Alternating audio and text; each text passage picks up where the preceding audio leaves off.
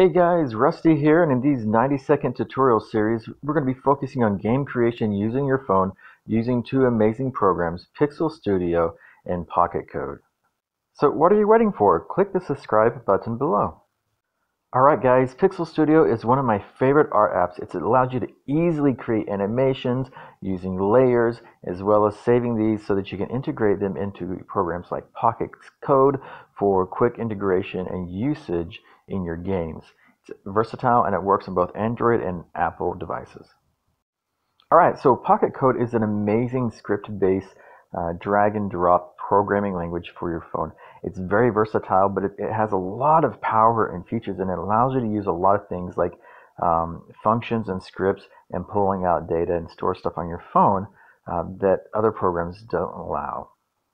Alright guys, so I just want you to check out the couple games that were made on phones uh, using Pocket Code so that you can have an idea of the power and versatility of these programs.